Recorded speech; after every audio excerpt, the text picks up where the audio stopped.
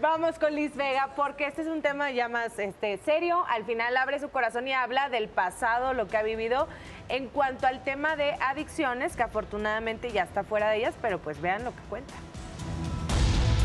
Liz Vega acudió al desfile de las estrellas comandado por Mitzi. La actriz habló sobre los episodios que vivió a semejanza del diseñador.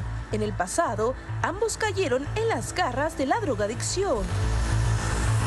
Eso es una página que yo cerré hace mucho tiempo y lo compartí con el público porque, bueno, se, se prestó en esos momentos. Pero generalmente no hablo mucho de mis cosas con personas acerca- tan cercanas, la verdad, porque soy muy empática con las cosas que he vivido y soy muy empática con las cosas que han vivido los demás. Pues trato, no se crean todo lo que ven. ¿Tú qué opinas, papi? Sin embargo, sí puede ser, tu historia de vida puede ser un ejemplo, Liz, para muchas personas que probablemente les cuesta trabajo salir de una situación así.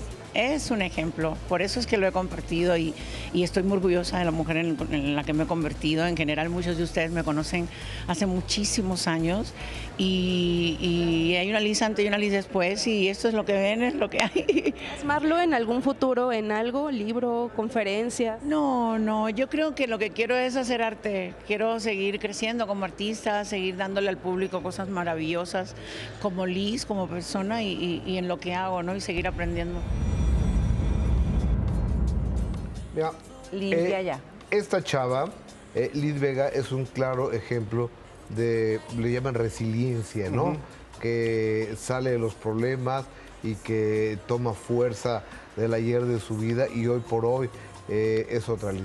Es una mujer, en verdad, que aparte que es nuestra madrina de aquí del programa, sí es una mujer muy admirable porque ha, cómo ha pasado por cosas complicadas, difíciles. Eh, la vida misma la ha golpeado en varias ocasiones y sin embargo ella es sorprendente porque siempre tiene buena cara, porque cree en el amor, porque cree en ayudar al que tiene al lado, porque es una mujer, creo yo, por lo que se vibra y por lo que la conocemos, honesta, de buenos sentimientos y que merece que le vaya bien en la vida. Y es bien trabajadora, ¿eh? O sea, yo recuerdo haberla visto hace muchos años en plena pandemia en un café. Ella no sabía que, o sea, no me había visto. Estaba tan concentrada que la escuchaba yo hablando de, este, y montamos el show así y estas canciones y tal. O sea, nunca para, siempre es una Es una mujer fuente de trabajo también y, y muy linda persona. Y como Hola. la historia de su carrera, ¿no? Ella llega gracias a la inquietud de, en su momento de Juan Osorio de contar la- su verdad, una película que él hace, y ella hace el papel de Niurka, que llegó directamente a generar controversia,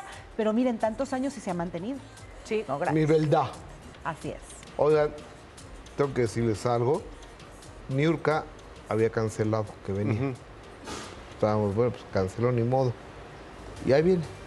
¿Ya viene para acá? Ya, viene, ya me mandó su ubicación en Ah, tiempo bien. real, que Ok. está Ok. sobre Avenida Universidad. Está porque no sé que una grúa, algo pasó, pero ya, Ya eh, en está en camino. ya no tarda en llegar unos cuantos minutitos para que tengamos aquí a, A ver si no te a- dice, está bloqueado. a- hablando de Está cubana. bloqueado el tráfico.